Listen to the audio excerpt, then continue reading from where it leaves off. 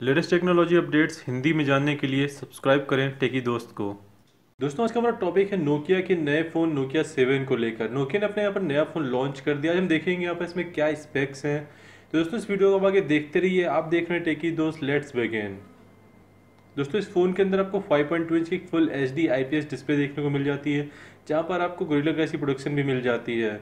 Processor की बात करें तो यहाँ पर आपको कॉल कॉम का सिक्स थर्टी देखने को मिल जाता है, जिसमें आपको आठ कोड देखने को मिल जाते हैं। कॉटेक्स ए फिफ्टी थ्री के टू पॉइंट टू गीगाहर्ट्ज़ की फ्रीक्वेंसी पर।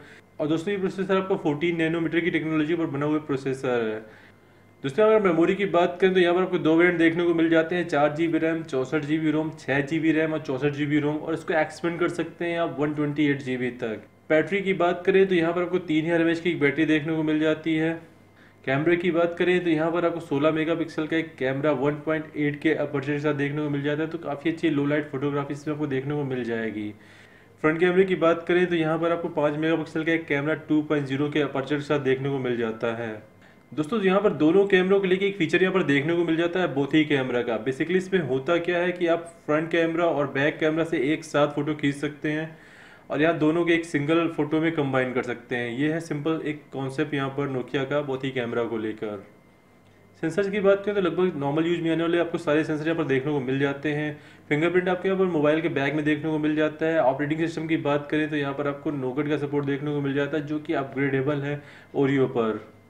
दोस्तों लॉन्चिंग की बात करें तो ये फ़ोन चाइना में 24 तारीख को लॉन्च हो जाएगा। इंडिया में कब तक आता है देखने वाली बात होगी।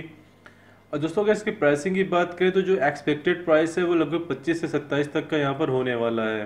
तो दोस्तों, ये था फ़ोन नोकिया सेवन अब दोस्तों, अगर प्राइस के अकॉर्डिंग इस फ़ोन को आप देखेंगे तो यहाँ पर आपको सिक्स थर्टी मिल रहा है, पच्चीस से सत्ताईस के आसपास तो मतलब थोड़ा सा ज़्यादा है ये प्राइस के अकॉर्डिंग और यहाँ पर देखिए, आपको 5.2 इंच की डिस्प्ले भी देखने को मिल रही है तो वो तो ठीक भी है अपनी जगह पर, लेकिन प्रोसेसर यहाँ पर थोड़ा सा ज़्यादा होना चाहिए तो प्राइस थोड़ा सा कम होना चाहिए था। प्राइस अगर यहाँ पर होता सोलह सत्रह अठारह के आसपास तो एक मिड रेंज के आसपास ये बैठता, और काफ़ी अच्छा यहाँ पर फ़ोन उस प्राइस के अकॉर्डिंग ही बन जाता। क्योंकि दोस्तों, यहाँ पर एक बड़ा नाम है नोकिया का तो उसको हम अवॉइड कर सकते हैं बीस से इक्कीस तक, लेकिन पच्चीस, सत्ताईस तक जाना मतलब थोड़ा सा काफ़ी ज़्यादा हो जाता है। तो दोस्तों, ये था नोकिया सेवन और मेरे खुद के ओपिनियन इस फ़ोन के बारे में। अगर अभी भी कुछ इश्यूज़ होते हैं आपको इस फ़ोन के बारे में तो आप नीचे कमेंट्स में उसको लिख सकते हैं। दोस्तों, अगर वीडियो आपको अच्छा लगा तो उसको लाइक करें ही इसको शेयर भी कर दें और इस चैनल को सब्सक्राइब करना बिल्कुल भी ना भूलें, क्योंकि इस तरह के जो अपडेट्स हैं, वो मैं आपके लेकर आता रहता हूँ। दोस्तों, फिर मिलते हैं नए अपडेट्स के साथ।